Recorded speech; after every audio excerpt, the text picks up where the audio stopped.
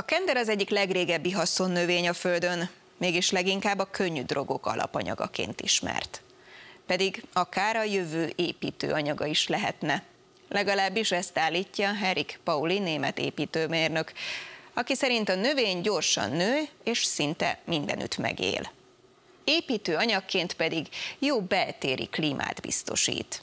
Elsőrangúan szigetel, hatékonyan tárolja a hőt, és még nedvességszabályozó hatású is. Tudtad, hogy a kanabisz segíthet megvédeni az éghajlatot? Nem, nem a dohányzással. Olyan házakat építhetünk belőle, mint ezek, szerte a világon. Ma a városaink így néznek ki, betonházak egymás hegyén hátán. A beton masszív, olcsó és sokrétűen felhasználható. A probléma, hogy előállítása rendkívül energiaigényes, és a globális széndiokszid kibocsátás 8%-áért felelős. A betonnak és a vasbetonnak extrém a stabilitása, de egyáltalán nem szigetel jól, és szerintem nem házépítésre való. Vasbetonra hidaknál nagy infrastruktúrális beruházásoknál van szükség, ahol kell a nagy teherbírás. Erik Pauli építőmérnök már néhány éve a kendert használja építőanyagként. A kender előnyei gyorsan és szinte mindenhol nő, itt Hessen tartományban is, és rengeteg széndiokszidot képes tárolni. Also wir sind jetzt hier auf einem Hanffeld und auf diesem Hanffeld sehen wir den Baustoff, den wir hier a kenderültetvényen vagyunk, itt látjuk az építőanyagot, amit használni akarunk. Kihúzok egyet. Ez a szára. Jó kivehető, szinte alig van ága.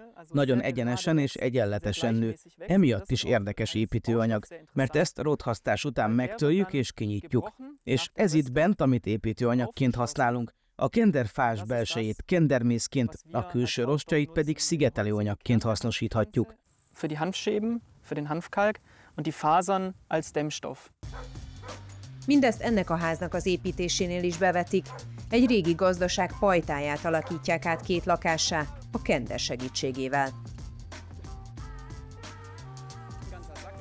A kender külső fás részéből összevágott aprítékot összekeverik vízzel, adnak hozzá meszet, ami ragasztóanyagként szolgál, valamint egy ásványi anyag keveréket, amitől az egész jobban megkeményedik.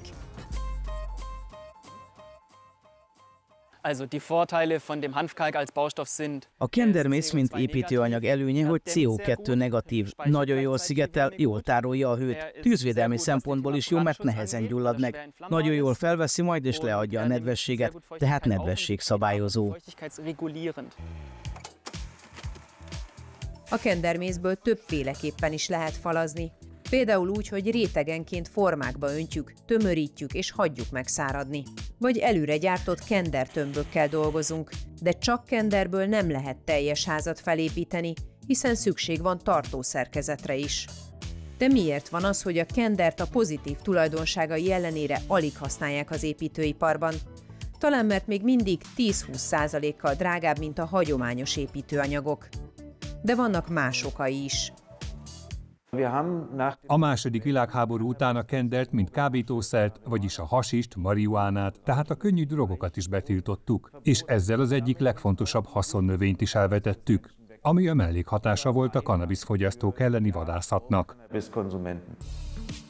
Erik reméli, az építőiparban újra teret nyer a kender, fejlődne a technológia, egyúttal olcsóbb is lenne, és még az éghajlattal is jót tennénk, az építőipar pedig klímabarátabb lenne.